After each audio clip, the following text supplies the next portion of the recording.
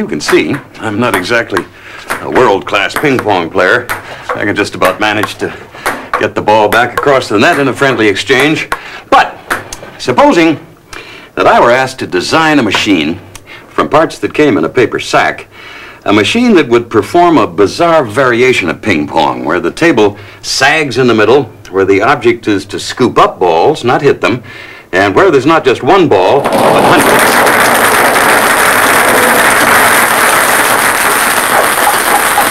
Kind of boggles the mind, doesn't it? well, this little exercise also boggled the minds of an entire class of engineering students at MIT in the latest of their famous annual design contests. Competition night. 200 students fighting to gather in the most ping pong balls in a series of matches lasting just 30 seconds each. The loser is eliminated, but the winner may end up as champion engineer. We are, we are, we are the engine of the Tata. We can, we can, we can, we can demolish 40 beers. Drink rum, drink rum, drink rum all day and come along with us. Six weeks earlier, the students picked up their identical kits of parts. Robert Ambrogi, Benji to his friends, checks out the structural materials, while Megan Smith has ideas for the glue stick. know, you could melt it on the other person's machine. The task was revealed a few days ago, and already they're working out how the various gears, cardboard tubes, aluminum rods, and electric motors might be used. Two motors. Megan and her roommate Jenny Quo swap ideas. Hey, look. This would be great for a vacuum. Like you could, um, you could have a ball out there, just suck it up. I would say I- I'll most likely build a cart. But Benji went for the speed of an expanding arm rather than the maneuverability of a cart. One problem I'm gonna have is aiming it so that it always hits that spike dead center. And I'm thinking of having something stationary. So I don't want to waste my motors or energy on something that'll roll around. Well, engineers are human too. Jenny changed her mind and picked the cart approach. Oh.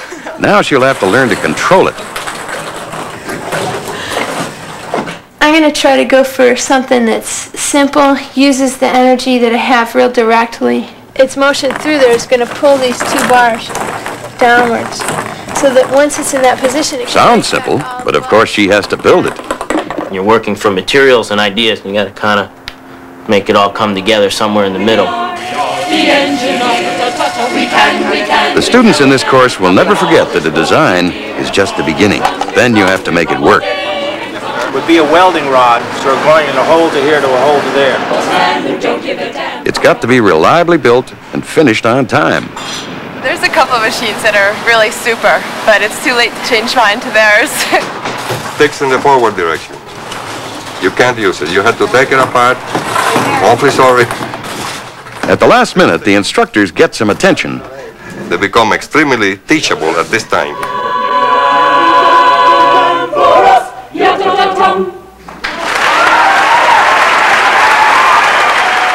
On the night, there are just two important questions. Will my machine work, and who am I up against?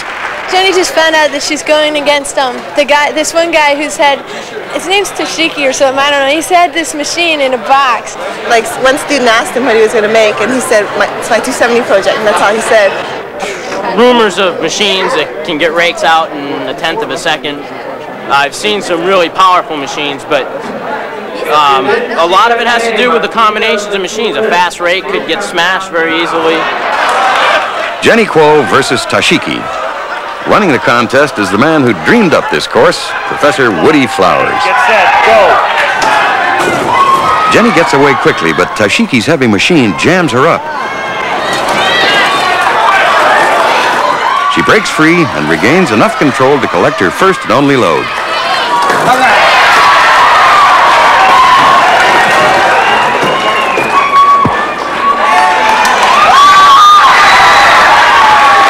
That was enough to win. She's through to the next round.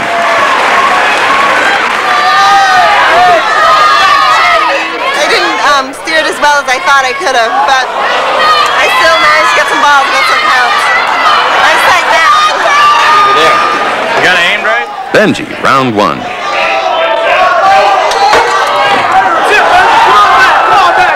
He's lucky, although his arm is moving slowly, his opponent misfires. But in future, you'll have to work fast to beat the maneuverable carts. Ah, it's moving slow. It's moving really bad. He wins, but he knows his machine is vulnerable. I don't know. It's moving slow. I think it might have been these, this wire. Yeah, see this wire's tangled here. Megan Smith. Her cart's been simplified during development, and now it's a tough machine.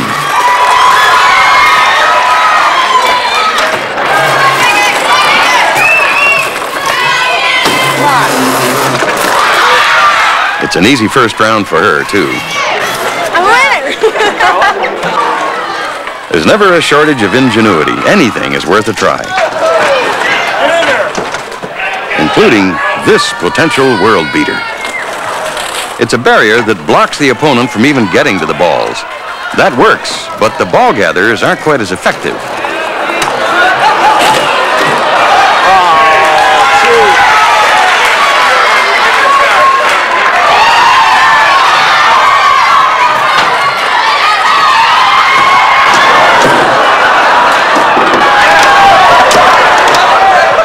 Match results don't count toward your grade, but it still can be a serious business. Benji, round two. His brother, also an MIT student, acts as his second. And this one's tougher. He's up against a whirling cart.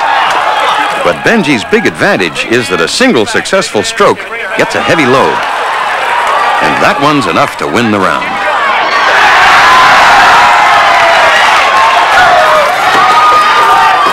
Now Megan is up against a fast cart with a wild plunging rake. And she's in trouble. She loses control, and there's a hopeless tangle.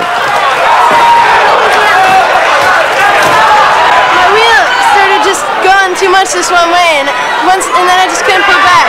I guess I was just too nervous. Hey, don't say sorry. I'm out now.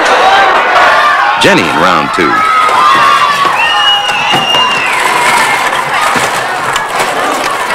It's a flawless run.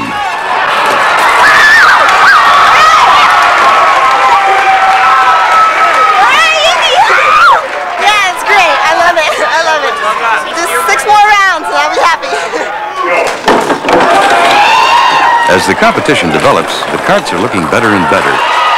Here's the Deathmobile, streaking through the first two rounds. It was built by Brad Waller, a real artist on the joystick.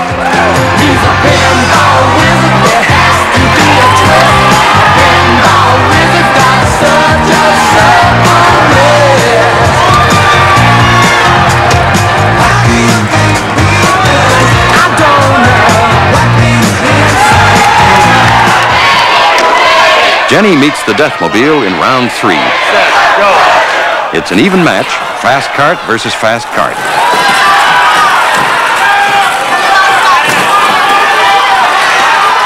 And there's a control problem for Jenny. She can't work loose from the stakes that Woody Flowers put in just to make things a little more difficult. The perfectly controlled Deathmobile walks away with it. It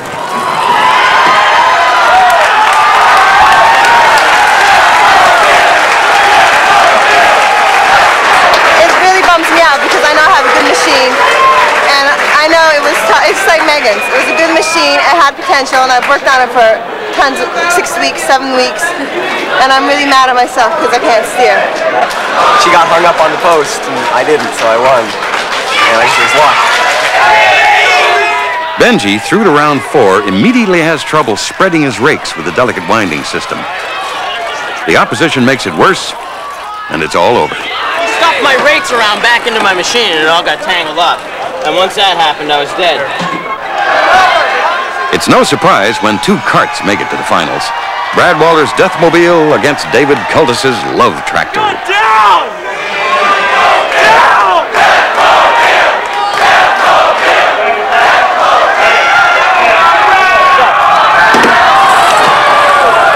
The Love Tractor gets a good first scoop and then pins down the Deathmobile. It could be all over. But the joystick artist breaks out and begins to catch up. Fast.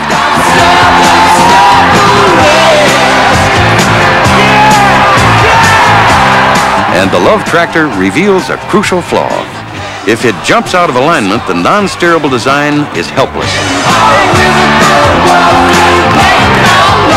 It's so close they need a ball count.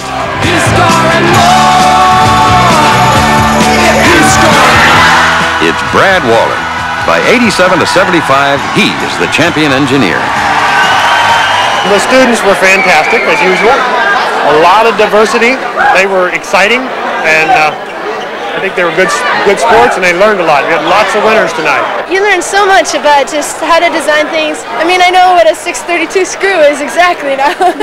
I mean, you know, you know everything, and you just sort of learn all that kind of stuff. That's going to be awesome for when we're when we're real engineers in the field, and we'll know, you know, what's going on. The class is valuable, and the contest is for fun. Yeah, I That's how you have to take it. I think it's probably the best class I've ever taken at MIT, and I've learned so much from it. It's just, it makes me want to be an engineer now.